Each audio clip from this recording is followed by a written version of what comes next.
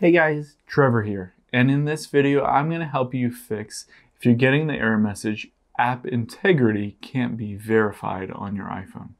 It's pretty quick and easy, so let's jump right in. Now, I'm going to open up the photos here. I took a little screenshot and it says unable to install such and such app. This app cannot be installed because its integrity could not be verified. If you're getting this message, if you're trying to install a new app or update an app, and you're wondering why you keep getting that message, there are a couple different things that you can do to fix it. But the reason why you're getting this is because the certificate that it sends to Apple to entrust that it is a true app that's been go gone through the App Store verification process and it's approved by Apple is there something wrong with that certificate? So Apple is just not sure about that certificate and it wants to give you this warning that says we can't verify that this is a legit app and it won't cause any bugs or hack your iPhone or anything like that. So it's a security risk to download something where it can't verify that it's an actual real app. So let's get out of here and I'm going to open up settings and walk you through a couple different things that you can do um, to fix it.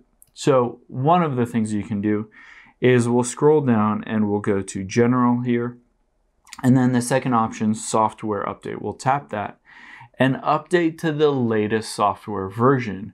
This is because potentially if you're in a really old version of iOS, then it can't be compatible with, say, maybe a, one of the newer apps, and there's some kind of incompatibility there in trusting that certificate and the validity of that certificate. So I would suggest updating your software to the latest version.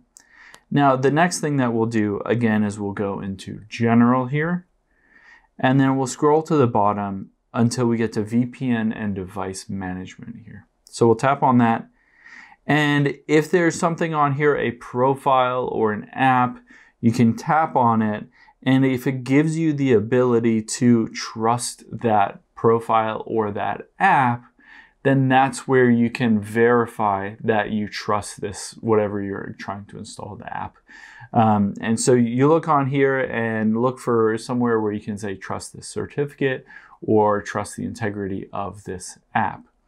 But beyond that, between updating your software and going to the VPN and device management, there's not much else you can do to install that if it doesn't have a valid certificate that Apple trusts.